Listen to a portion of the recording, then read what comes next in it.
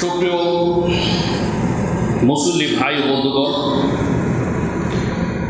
গত সপ্তাহে আমাদের আলোচনা প্রথম পর্ব গিয়েছিল সুরা মাউন কোরআন কেরিমের একশত সাত নাম্বার সুরা। এ প্রথম চ্যাপ্টার আমরা আলোচনা করেছি গত জুমাতে।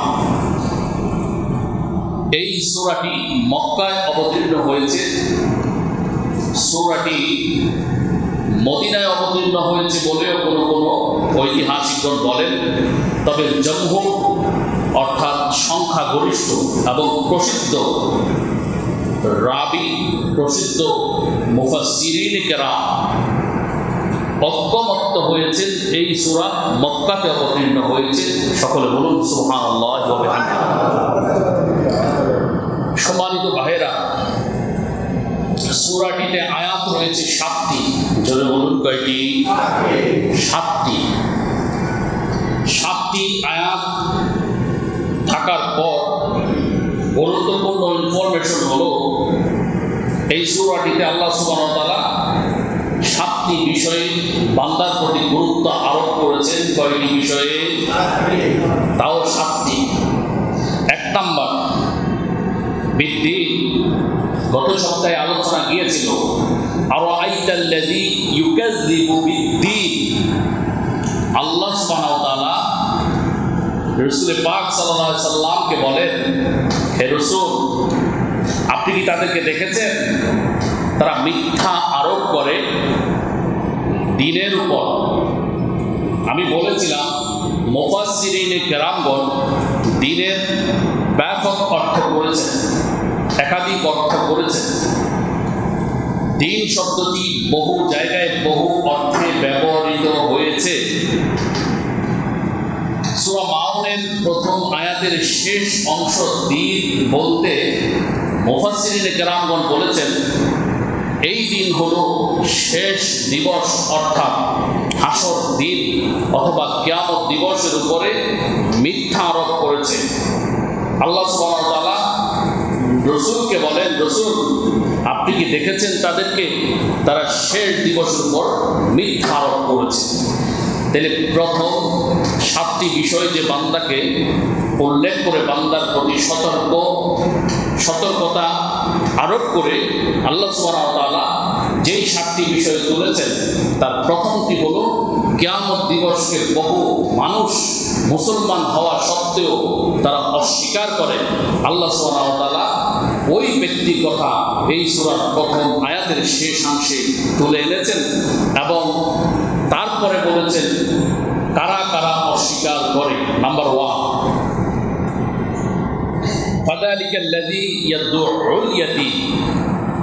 ওই দেখেন গত সপ্তাহে বলেছিলাম, এই আয়াতে আল্লাহ সুবাহ বলেন, ওই দেখেন, আমরা বলি দিস এটা দ্যাট ওটা, আল্লাহ একেবারে নিশানা দিয়ে দেখিয়ে দিচ্ছেন, ওই দেখেন তাদেরকে। ইয়াতিমদেরকে পিতৃহীনদেরকে, এতিমদেরকে তারা গাঢ় ধাক্কা দেয়। তাফসিরের একাধিক তাফসির ইয়াতিমের তাফসির করেছেন, গাঢ় ধাক্কা দেয় ইয়াতিমদেরকে গত সপ্তাহে আলোচনা চলে গেলেও অনেকে হয়তো বা ছিলেন না, যার জন্য আমি শুরু থেকে সংক্ষিপ্তভাবে বলে আসছি যে, গাঢ় ধাক্কা কীভাবে দেয়? কেউ আছে, বাবা মারা যাওয়ার পর চাচা যেটা হয়ে তার ভাতিজা ভাতিজির সম্পদগুলোকে গ্রাস করে ফেলে। এমন আছে না নাই? কম না বেশি? এবং এদের মধ্যে আপনি দেখবেন অধিকাংশ সমাজের এলিট শ্রেণি। সমাজের এলিট শ্রেণি হজ অত্যন্ত গুরুত্বপূর্ণ ইবাদত। আমি আপনাদেরকে বলেছিলাম, স্বয়ং কোরআন কেরিমে যারা বায়তুল্লাহ সফর করে, তাদেরকে আল্লাহ সুবাহ তালা হাজি নামে রেখেছেন সুহান যারা হাজ ব্রত পালন করেন, তাদের কি সম্মান? সেটা মক্কা, মদিনা না গেলে বুঝে আসবে। তাদেরকে যে আরবের লোকেরা কি সম্মান, ইজ্জত করেন হাজিদেরকে, এটা অত্যন্ত ভাবনার বিষয় রয়েছে। হাজিরা যখন মক্কা মোয়াজ্জামা থেকে মদিনায় ফেরত আসতেন রসুল করিম সাল্লাহ সাল্লাম তাদেরকে অভিনন্দন জানানোর জন্য মদিনার উপত্যকায় সাহাবাই গ্রামকে নিয়ে দাঁড়িয়ে থাকতেন সুহান প্রিয় ভাইরা এই হাজিদেরকে যদি আপনি একশো জন জরিপ করেন, তাহলে অত্যন্ত দুঃখের সাথে বলতে হয় আনফর্চুনেটলি অনাকাঙ্ক্ষিতভাবে বলতে হয় একশো জন হাজি- হাজিকে যদি আপনি অ্যানালাইসিস করেন, তাহলে দেখা যাবে আশি ভাগ, নব্বই ভাগ হাজি অন্যের সম্পদ গ্রাস করার ভেতরে লিপ্ত রয়েছে। কথাটা সত্য না মিথ্যা? সবাই না। ভালো মানুষ আছে না নাই? প্রত্যেক কাতারে কাতারে ভালো আর খারাপ আছে না নাই? কিন্তু আমি খারাপদের কথা বলছি, যাদের কথা আল্লাহ ইয়াদুল ইয়াতীম বহু হাতি আছেন, তার আপন হাতিজা বাতিজিকে তাদের হক না বুঝাইয়া বছর বছর তিনি ওমরা মারেন, ঠিক না বেঠি? বছর বছর অমরা পালন করছে। একাধিক হজ তার লকব নামের সাথে লাগিয়েছেন। মসজিদ, মাদ্রাসা কমিটির তিনি দায়িত্বে এসেছেন। তিনি সর্দার মাতবার হয়ে এলাকায় নেতৃত্ব দিচ্ছেন। তিনি রাজনৈতিক লিডারশিপ নিয়েছেন।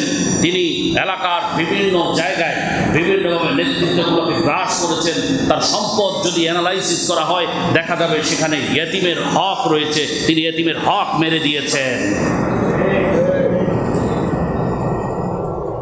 প্রিয় ভাইরা তাইলে আল্লাহ তাআলা বললেন যে, রসুল, আপনি কি দেখেছেন? কেমন দিবসকে তারা অস্বীকার করেছে। এর ভিতরে একটি কথা লুকায়িত রয়েছে। সেই কথাটি কি? সেই কথাটি হলো, এই যে সূরা মাউনের যেই বিষয়গুলো, যে সাবজেক্টগুলো আল্লাহ ওয়া তাআলা আলোচনা করেছেন মুফাসসিরিন কেরামগণ বলেন, এর প্রত্যেকটি বিষয় সম্পর্কে জাররা জাররা করে, পঙ্খানুপঙ্খ করে কেয়ামতের ময়দানে হিসাব নেওয়া হবে। আল্লাহু আকবার বলেন। একটাও ছেড়ে দিবেন না, আল্লাহ সুবহানাহু ওয়া তাআলা এজন্য বলেছেন তারা তো অস্বীকার করে কেয়ামত দিবসকে। বিদ্দিন, বিদ্দিনের এখানে তাফসীর। কোনো কোন মুফাসসিরিন কেরাম, একাধিক অসংখ্য সংখ্যাগরিষ্ঠ মুফাসসিরিন কেরামগণ লিখেছেন যে কেয়ামতে যে তাকে হিসেব দিতে হবে সেটা সে ভুলে গেছে, সে অস্বীকার করে। সে মনে করেছে তাকে ছাড় দেওয়া হবে, কিন্তু পশ্চিম কালেও তাকে ছাড় দেওয়া হবে প্রিয় ভাই বন্ধুগণ, নাম্বার ওয়ান হলো তাহলে এতিমের গলা ধাক্কা দেয়া ঘাট ধাক্কা দেয়া, এতিমকে বঞ্চিত করা, এতিমের উপর জুলুম করা, শোষণ করা। নাম্বার দুই, ওয়ালা ইয়াহুদ্দু আলা তুআমিল মিসকিন। এবং নিজে তো খাওয়ায় না, বরং অন্য কেউ খাওয়াতে চাইলে মিসকিনকে। মিসকিন আরবি শব্দ, এটার বাংলা অর্থ হলো দরিদ্র, গরিব। অর্থ, সম্পদ, সামর্থ্য যার কাছে নেই, গরিব, অন্যের সহযোগিতা ছাড়া যিনি চলতে অক্ষম, তাকে আরবিতে মিসকিন বলা হয়। প্রিয় ভাইরা, এই মিসকিন আমাদের সামনে হাত পাতে আমাদের অনেকে আছে, তাদের কিন্তু আমরা খাওয়াই না, দেই না। কিন্তু আরেক ভাই তাদেরকে খাওয়ায় দেয় কোমলমতি ভাই, মুসলমান, নরম দিনের মুসলমান, আল্লাহর ইবাদত মনে করে রসুল্লাহ সাল্লাহ সাল্লামের নির্দেশ পালন করার স্বার্থে সেই মিসকিনকে, গরিবকে কিছু দিতে চায়। কিন্তু অত্যন্ত কপাল পড়ার দল ওই মানুষটাকে, দাতাকে নিরুৎসাহিত করে। তাকে কিছু দেওয়ার দরকার নেই। আর কি দরকার আছে? খবরদার এই বিষয়ে আল্লাহ তাআলা নিষেধাজ্ঞা আরোপ করেছেন যারা এমন করবেন, আপনার জন্য আল্লাহ তাআলা সূরা মাউনের শুরুতেই বলে রেখেছেন আরও বিদ্দীন। এই মিথ্যক মিথ্যাবাদী, মিথ্যা আরোপ করেন কিয়ামত দিবসের উপর যারা মিসকিনদেরকে খাদ্য, আহার, অন্ন, বস্ত্র, বাসস্থান দিতে অন্যকে নিরুৎসাহিত করেন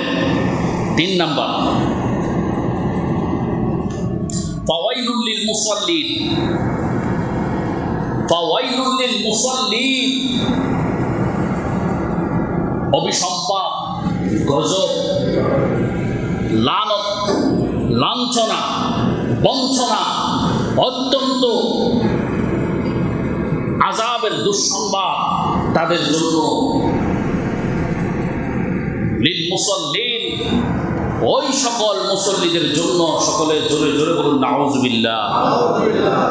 মুসল্লি মুসল্লি, নামাজ আদায় করতে এসছি আমরা, কিন্তু রব যে রবের ইবাদত গোলামি করবার জন্য বন্দী করবার জন্য আমরা আসলাম, সেই রব আমাদেরকে বলেন, তোদের জন্য নাম তোদের জন্য গজব তোদের জন্য মর্মান্তিক শাস্তির দুঃসংবাদ আমি দিয়েছি। আরেকবার বলুন নাওজবিল্লা প্রশ্ন হলো প্রশ্ন হলো, কোন সে মুসল্লি? কোন সে মুসল্লি যাদের জন্য আল্লাহ সুবাহ আজাবের ঘোষণা দিয়েছেন? কোন কোন মুফাসসিরিনে কেরামগণ ওয়াইলুনের তাফসীর করেছেন। ওয়াইলুন ওয়াইলুন হচ্ছে জাহান নামের অত্যন্ত যন্ত্রণাদায়ক, অত্যন্ত মানে কঠিন যন্ত্রণাদায়ক জাহান নামের একটি দুর্গের নাম জাহান নামের একটি গর্তের নাম হল ওয়াইলুন। অত্যন্ত মর্মান্তিক আজাব সেখানে দেয়া হবে। আর যাদেরকে সেই আজাব দেয়া হবে, তারা অন্য কোনো দোজকি নন, অন্য কোনো জাহান নামি নন। যারা দৈনিক নামাজ আদায় করতেন, সালাত আদায় করতেন, এই সকল সালাত আদায়কারীদের একটা শ্রেণীকে, একটা দলকে সেই ওয়াইলুন নামক গর্তের ভেতরে ফেলে অত্যন্ত মর্মান্তিক আজাবে নিক্ষিপ্ত করবেন রব নাহজবিল্লা বলেন।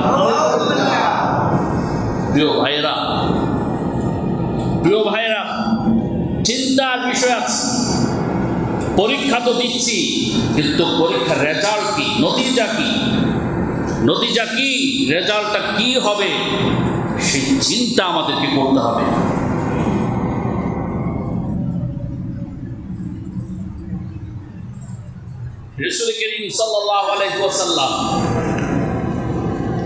একটি হাদিসের ভেতরে অত্যন্ত গুরুত্বপূর্ণ হাদিস। তিনি বলেন সাহাবি হজরত ওবাদা ইবনু সালেদ এই হাদিসটি বর্ণনা করেন। ওবাদা ইবনু সালেদ তিনি বলেন, সামিতু রাসূলুল্লাহ সাল্লাল্লাহু আলাইহি ওয়াসাল্লাম, আমি আল্লাহর রাসূলকে বলতে শুনেছি। এ ভাই, হাদিসের অনেকগুলো মান রয়েছে। কিছু হাদিস আছে আমি আরেকজন থেকে শুনেছি। তিনি আরেকজন থেকে শুনেছেন। তিনি আরেকজন থেকে শুনেছেন। এভাবে রসুল্লাহ পর্যন্ত যারা রাবি ছিলেন, তাদের অবস্থান। আর কিছু হাদিস আছেন সাহাবা আজমাইন সরাসরি রসুল্লাহ থেকে নকল করেছেন। সেই হাদিসগুলোর মধ্য থেকে একটি হাদিস হলো, এই হাদিসটি সহি সনদে বর্ণিত হাদিস। হযরত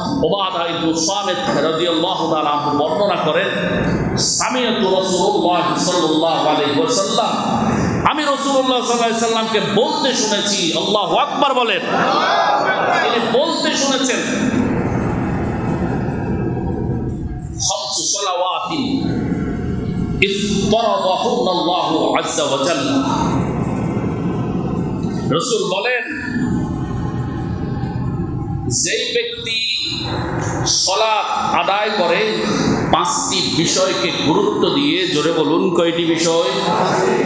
এই পাঁচ বলুন, কয়টি বিষয়? আরেকবার সবাই বলুন, কয়টি বিষয়? পাঁচটি বিষয়। বারবার বলার অর্থ হচ্ছে যে অত্যন্ত গুরুত্বের সাথে এই কথাটি জানার জন্য যাতে করে ওয়াইলুন দোজকে কোনো মুসল্লিকে যেতে না হয়।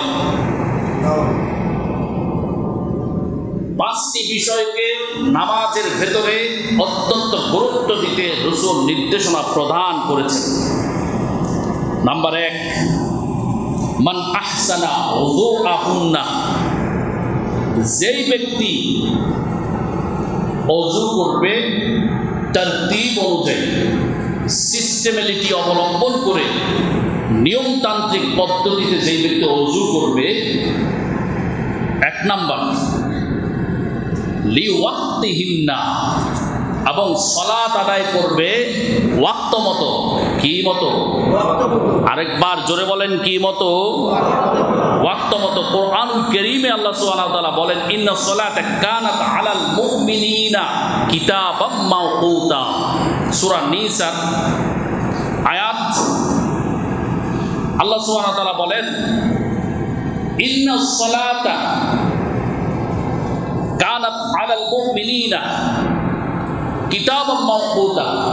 শব্দের অর্থ হলো নিশ্চয়ই। মানে নিশ্চয়ই সলাত অথবা নিশ্চয়ই নামাজ।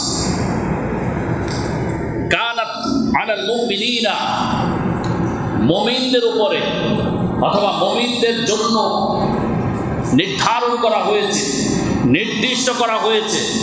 নিশ্চয়ই কথা মনে রাখবেন, আমি অন্য কোনো খুদ্ায় বলেছিলাম, কোরআনুল গরিবের অথবা হাদিস শরীফের যেই কোনো শব্দের আগে, যেই কোনো বাক্যের আগে ইন্না শব্দটি আছে, তাহলে বুঝবেন যে এটাকে আল্লাহ অথবা আল্লাহ রসুল অত্যন্ত মজবুত করে বলেছেন, অত্যন্ত গভীরভাবে বলেছেন, অত্যন্ত গুরুত্ব দিয়ে বলেছেন, এটি যেন যেন কোনো কথা নয়।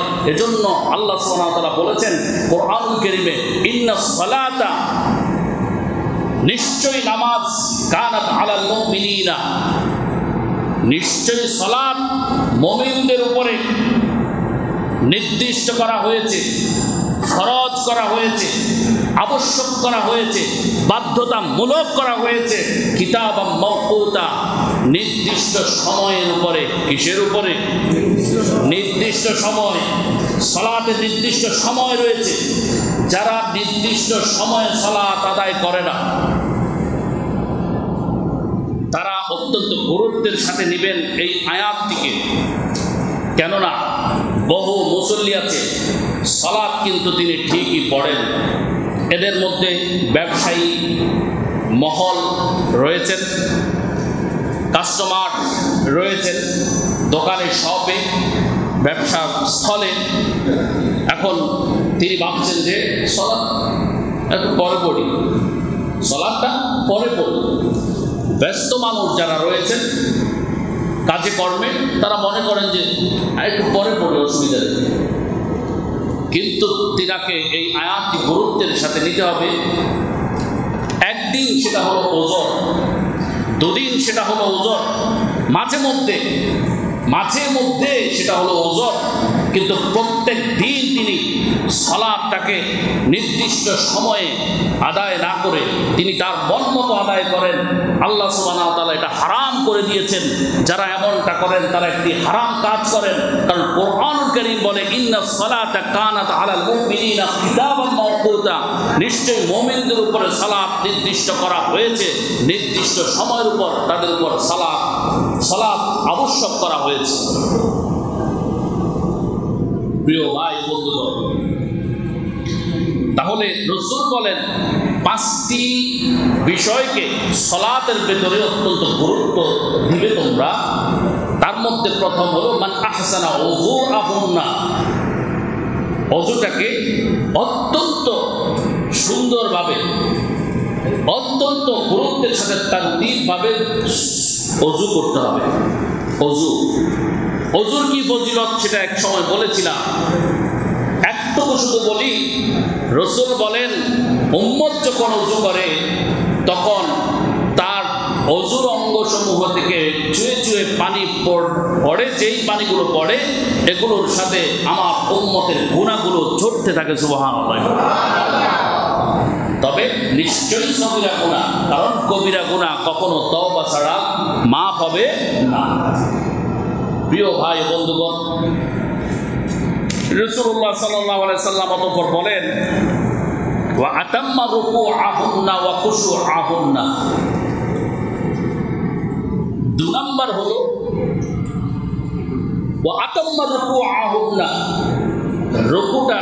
ঠিকভাবে যেন আদায় করে।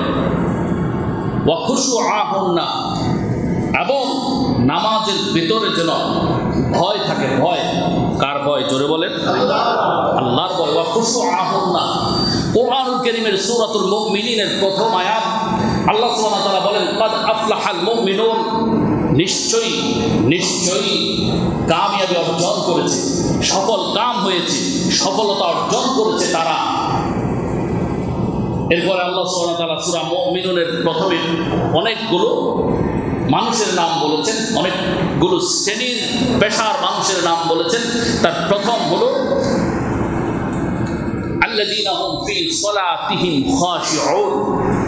সফল কাম হয়েছে তারা, কামিয়াবি অর্জন করেছে তারা সাকসেস হয়েছে তারা। আল্লাহ যারা তাদের নামাজের ভিতরে ভীত ছিল। কে ছিল? ভীত ছিল। কার ভয়ে ভীত ছিল? আল্লাহর ভয়ে ভীত ছিল। যারা তাদের নামাজগুলো আদায় করেছে ভয়ের সাথে। ভয়ের সাথে নামাজ আদায় করেছে। অত্যন্ত দুঃখজনকভাবে বলতে হয়, অনেকে আছে নামাজের ভিতরে দাঁড়িয়ে হাসাহাসি করে। যুবক বন্ধুগণ, যুবকদের ভিতরে অনেক আছে, নামাজের ভিতরে দাঁড়িয়ে হাসে।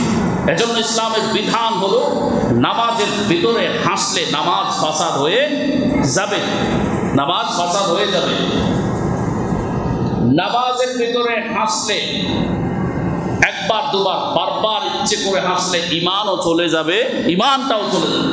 বারবার নামাজকে উপহাস করলে ইমান থাকবে যত বড় আলেম হই, যত বড় আউলিয়া হন না কেন তিনি ধরেন একজন সাধারণ মানুষ, দাড়ি নাই, টুপি নাই, স্কুল, কলেজ ভার্সিটির ছাত্র। আমি একজন আলেমকে বলছে যে, ভাই, হুজুর, চলেন নামাজ পড়তে যাই। কিন্তু আমি আলেম হওয়া সত্ত্বেও যদি ওই ভাইকে বলি, ভাই, মিয়া যান, আপনি কি আমার থেকে বেশি বোঝেন নাকি? এই নামাজের সাথে বেয়াদবির কারণে ইমানের খতরা রয়েছে, কথা ঠিক কিনা? খবরদার নামাজে আহ্বানকারীকে নামাজে আহ্বানকারীকে আপনি আলেম হন, আর আপনি আউলিয়া হন, আপনি মুফতি, মহাদ্দিস, আপনি যাই হন না কেন, নামাজে আহ্বানকারীকে, হাইয়া আলা সলার দিকে আহ্বানকারীকে কখনোই আপনি উপহাস করতে পারবেন না। কেননা তিনি দুনিয়ার সবচেয়ে উত্তম জায়গার দিকে, উত্তম সময়ের দিকে, উত্তম কাজের দিকে আপনাকে ডাকছেন। হাইয়া আলা সলাহ হে ভাই, নামাজের দিকে আসো, নামাজের দিকে আসো, এভাবে আহ্বান করছেন। সুতরাং তাকে উপহাস করার মানে হলো আল্লাহর একটি ফরজ, বিধান, সালাত বা নামাজকে উপহাস করা। আর সালাত আর নামাজকে উপহাস করলে ইমান থাকবে ইমান থাকবে না। প্রিয় ভাই ও বন্ধুগণ, অনেক সময় আমরা দেখি তাবলিক জামাতের লোকেরা কাস্তে বের হলে, টাকা দেয় বের হলে তাদেরকে উপহাস করা হয়। তারা ডাকছে মসজিদের দিকে, তারা ডাকছে আল্লাহর দিকে, তাদেরকে উপহাস করা হচ্ছে। এই জান মিয়া ধমক দিয়ে তাদেরকে কথা বলা হচ্ছে। অত্যন্ত অন্যায় অত্যন্ত অন্যায়। আপনি তাদেরকে যদি কিছু বলেন যে, ভাই, আমি নামাজ একটু পরে পড়ব। এমন কিছু বলতে যদি চান, সেটা বিনয়ের সাথে বলেন, কারণ তিনি তার স্বার্থের জন্য আপনাকে ডাকছেন না। বরং আপনার স্বার্থের জন্য আপনাকে ডাকছেন। কথা ঠিক না ঠিক? প্রিয় ভাই, বন্ধুগণ কোরআনুল কারীমের সূরা মুমিনুনের প্রথম আয়াত শুনলেন। কদ আফলাহাল মুমিনুন সফল কারা, কামিয়াব কারা, সাকসেস কারা? এখানে অনেকগুলো কথা বলেছেন আল্লাহ সুবহানাহু বিষয় ভিত্তিক ভাবে তার প্রথম বিষয় হলো, আল্লাযীনা হুম যারা তাদের নামাজের মধ্যে ভীত ছিল, ভয়ের সাথে আসামির মতো করে নামাজ আদায় করেছে। নামাজের মধ্যে দুটি বিষয় আছে, একটি হলো খুশু আর একটি হলো খুজু। ওলামা ইকরাম ফোকাহা ইকরাম বলেছেন, ইসলামিক কনসালটেন্ট বিশেষজ্ঞরা বলেছেন খুশু হলো নামাজের মধ্যে ভয় ভয় থাকা, অন্তরের ভিতরে ভয় থাকা, আমি সালাত আদায় করছি। আর খুজু হলো খুজু খুজু হলো নিয়মতান্ত্রিকতা সিস্টেমিলিটি নামাজের যে তরতিব রয়েছে সিস্টেম রয়েছে, সেগুলো মেনে আদায় করার নাম হচ্ছে খুজু রসুল বলেছেন, যারা মান আহসানা উপহাহুন্না অজুটা ঠিক মতো আদায় করে। লিওয়াক্তিহিন্না, ওয়াক্ত মতো সলাৎ আদায় করে। তিন নম্বর বলেন ও আতাম্মা রুকু আহন্না রুকুটা ঠিকভাবে আদায় করেন। আমাদের মধ্যে অনেকে আছে, রুকু ঠিক মতো আদায় করেন আমি আমাদের সম্মানিত বর্ষিয়ান আলেম, ইমাম সাহ হুজুর দামত বরকাত এবং মোয়াজিদ সাহেব আপনাদের মনোযোগ আকর্ষণ করছি। আজকের সলাতের বয়ানের পর থেকে যেই কোনো মুসল্লির নামাজে যদি ঘাটতি দেখা দেয়, তাহলে আপনারা তা দিয়ে দিবেন। অবশ্যই একান্তভাবে মানুষের সামনে তাকে লজ্জা দিয়ে নয়। যারা মুসল্লি ভাইয়েরা আছেন, আপনারা কি ইমাম সাহেব, মোয়াজ্জিন সাহেবগণ যদি আপনাদেরকে অথবা যেই মুসল্লি ঠিকভাবে নামাজ আদায় করার তাগিদ আপনাকে দেন, আরেকজন মুসল্লি যদি কোনো ভাই এগুলো আপনাদেরকে শুধরিয়ে দেয়, আপনারা কি মনে কষ্ট পাবেন? আলহামদুলিল্লাহ। সবাই বলেন আলহামদুলিল্লাহ। কেমন এক মসজিদ আমরা প্রতিষ্ঠিত করেছি, আলহামদুলিল্লাহ। কেমন মসজিদ আমরা কায়েম করেছি, আলহামদুলিল্লাহ। এখানে আল্লাহর বিধানের ব্যাপারে নো কম্প্রোমাইজ কেউ আপোষ করে না, ঠিক না বেঠিক এই ভাষে আওয়াজ কম না। জোরে বলেন, ঠিক না বেঠিক ঠিক আছে। আমি এই মসজিদ নিয়ে গর্বিত। এই মসজিদ নিয়ে আমি গর্বিত। এই মসজিদ নিয়ে আমি অহংকার করতে পারি। কারণ আমাদের এখানে, আলহামদুলিল্লাহ ইসলামিক বিধানের ব্যাপারে প্রত্যেক মুসল্লি এক এবং ঐক্যবদ্ধ। ঠিক না ঠিক? এখানে অনেক মসজিদ রয়েছে।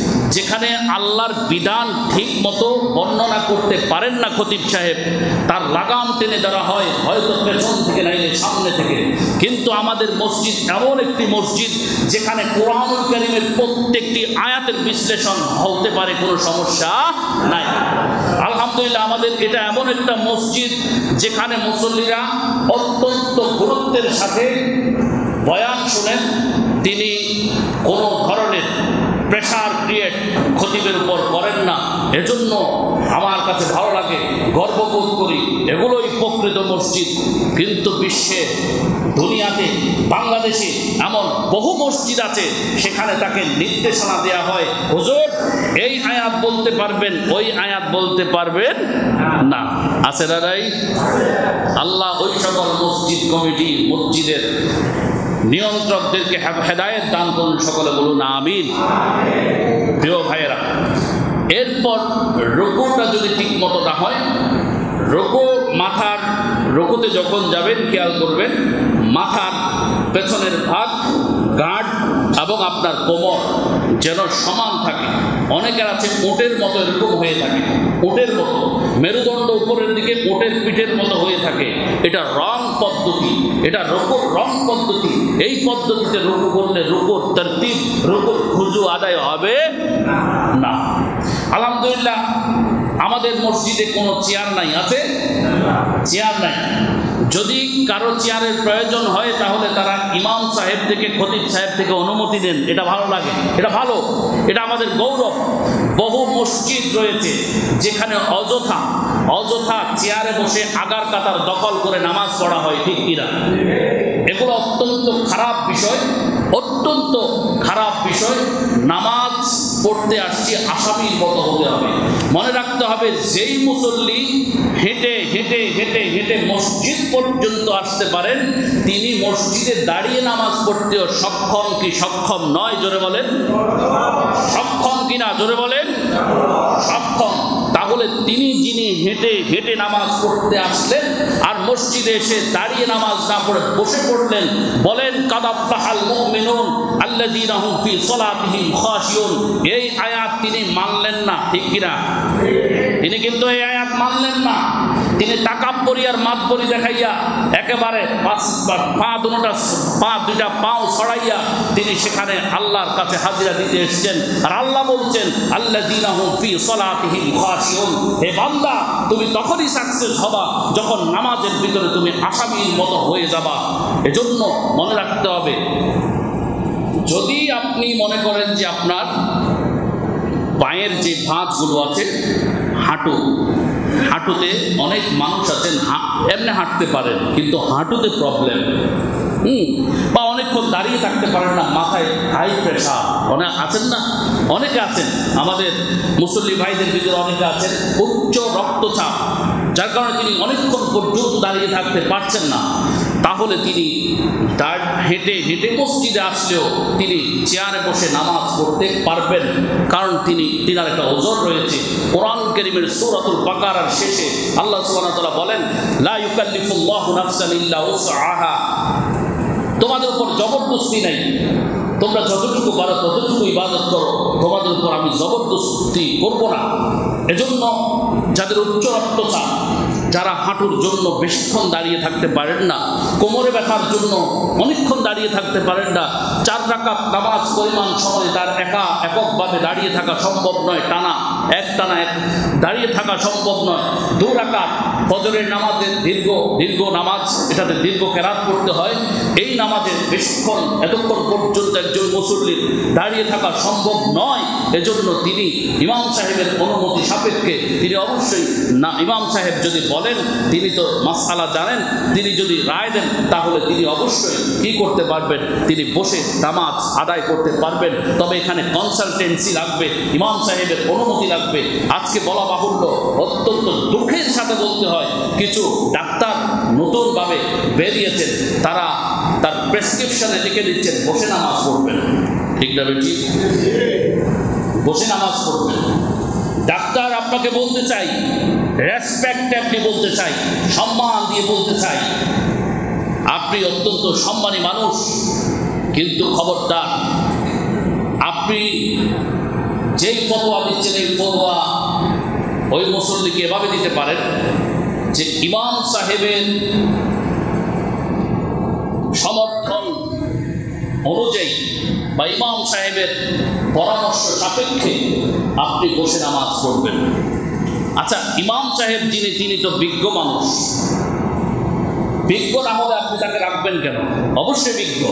ইমাম সাহেবগণ বিজ্ঞ মানুষ, তারা মাসালা জেনেই আপনার ইমামতি করছেন।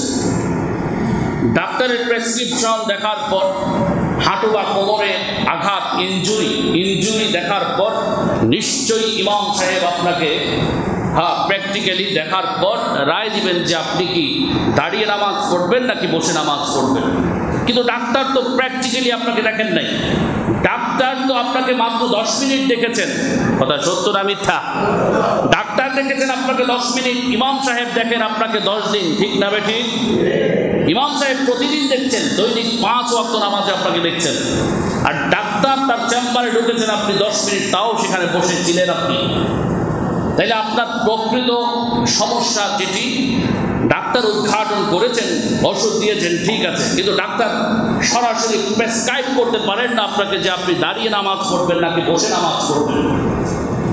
এখানে ইমাম সাহেবের অবশ্যই আলোচনার বিষয় রয়েছে, সাপেক্ষ বিষয় রয়েছে। ইমাম সাহেব যদি মনে করেন যে ডাক্তারের প্রেসক্রিপশন অনুযায়ী আর এই রোগের বর্তমান হালত অনুযায়ী তাকে আমি অনুমতি দিলাম যে আপনি বসে নামাজ পড়েন। কারণ ইমাম আরবি শব্দ, ইমামের ইংরেজি লিডার এবং বাংলা হচ্ছে নেতা, এই কথা সবাই মানেন তো। ইমাম শব্দের অর্থ হলো নেতা। প্রিয় ভাইরা বিনয়ের সাথে বলছি, আমাদের মসজিদ আলহামদুলিল্লাহ নাই, কিছু ছিল, আমরা পরামর্শ দিয়েছি, অত্যন্ত কষ্ট করে হলো আমাদের এই ভাইয়েরা এখন বসে দাঁড়িয়ে নামাজ পড়েন এবং তারা চেয়ারবিহীন নামাজ পড়েন। কিন্তু অনেক জায়গায় দেখা যায়, ইমামকে ডোন কেয়ার, খতিবকে ডোন কেয়ার, এই খতিব, তুমি বলার কে? এই ইমাম, তুমি বলার কে? আমাকে ডাক্তার বলেছে, এক হাজার টাকা ফি দিয়ে ডাক্তার দেখিয়েছি, সে বলেছে আমাকে বসে নামাজ পড়ার মতো। তুমি কেডা আল্লাহ ওয়া ওই সকল মুসল্লিদেরকে হেদায়েত করুন, সকলে আমি বলেন।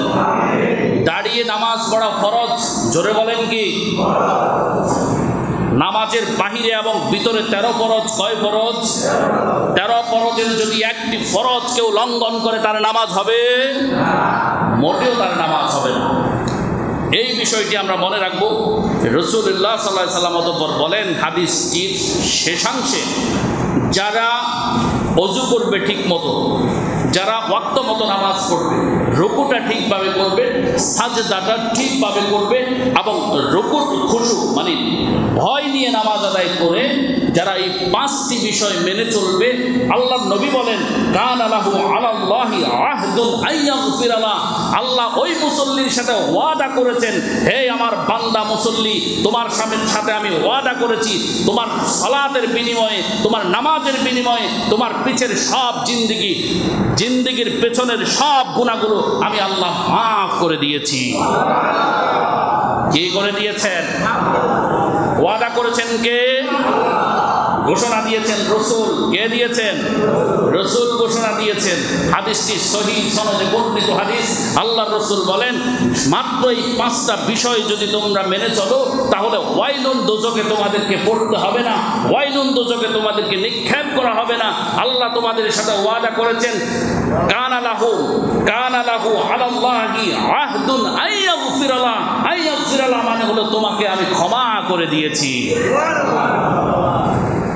যদি এই পাঁচটি বিষয় যেগুলো এতক্ষণ আলোচনা করলাম, সেগুলো যদি কেউ না মানে তাহলে আল্লাহ রসুল বলেন, ওয়া মাল্লাম ফাল যদি এই পাঁচটি বিষয় সালাতের ভেতরে গুরুত্ব না দাও, যদি এই পাঁচটি বিষয়কে গুরুত্ব না দাও, কোন পাঁচটি বিষয় ঠিকভাবে অজু করা ওয়াক্ত নামাজ পড়া, রুকু ঠিকভাবে করা, সাজদা ঠিকভাবে করা এবং ভয়ের সাথে নামাজ আদায় করা, এই পাঁচটা বিষয়কে যদি গুরুত্ব না দাও, ফালাইসাল্লাহু আলাল্লাহি আহদুন, তোমার সাথে আল্লাহর কোনো ওয়াদা নাই, তুমি মুসল্লির সাথে আল্লাহর কোনো অঙ্গীকার নাই। আল্লাহ রসুল বলেন ইনশা গাফার লাহু ওয়া ইনশা আজ্জাবা আল্লাহ ইচ্ছে করলে তোমাকে মাফ করে দিতে পারেন, আবার ইচ্ছে করলে তোমাকে জাহান নামের ওই ওয়াইলুন গর্তের ভিতরে ফেলে যন্ত্রণা দিতে পারেন। আল্লাহ আকবার বলেন। প্রিয় ভাই বন্ধুগণ, আজকের আলোচনা ফওয়াইলুল মুসাল্লিনের তাফসীর এতক্ষণ হয়েছে। সূরাতুল মাউনের ফওয়াইলুল মুসাল্লিন যেই আয়াতটির এই অংশটির তফসির, তাফসির এই এক ঘণ্টা পর্যন্ত সংক্ষিপ্ত তাফসির করেছি। আল্লাহ সুবাহ আজকের তফসিরের ভুল ত্রুটি মাফ করে আমাদেরকে ন্যায় অর্জন করবার তৌফিক দিন সকলে আমি বলেন। বলাতে শোনাতে গবেষণাতে ভুল থাকতে পারে। আল্লাহ সুবহানাহু ওয়া তাআলা সেগুলো মাফ করে দিন, আমিন বলেন। আর যদি শুদ্ধ হয়, আল্লাহ সুবহানাহু ওয়া তাআলা সেগুলো সকলের নেকের জরিয়া বানায় দেন, সকলে আমিন বলেন। আল্লাহ সুবহানাহু ওয়া তাআলা আমাদের প্রত্যেককে পাঁচ ওয়াক্ত সালাত সময় মতো আদায় করবার তৌফিক দান করেন, সকলে বলুন আমিন। আল্লাহ সুবহানাহু ওয়া তাআলা রাসূল যেই পাঁচটি বিষয় গুরুত্ব দিতে বলেছেন, সালাতের ভেতরে এই পাঁচটি বিষয় গুরুত্ব দেওয়ার তৌফিক দান করেন, সকলে বলুন আমিন। আগামী সপ্তাহে সূরা মাউন থেকে আলোচনা হবে। ইউরাউন। এই আয়াত এই আয়াতের এই দুটি অংশ, এই সূরার শেষ দুটি অংশ নিয়ে আগামী সপ্তাহে আলোচনা হবে। যথাযথ সময়ে সবাইকে উপস্থিত হবার জন্য আহ্বান করছি। ওয়া আখিরু দাওয়ানা আনিল হামদুলিল্লাহি রাব্বিল আলামিন। ওয়া মা ইল্লা বিল্লাহ।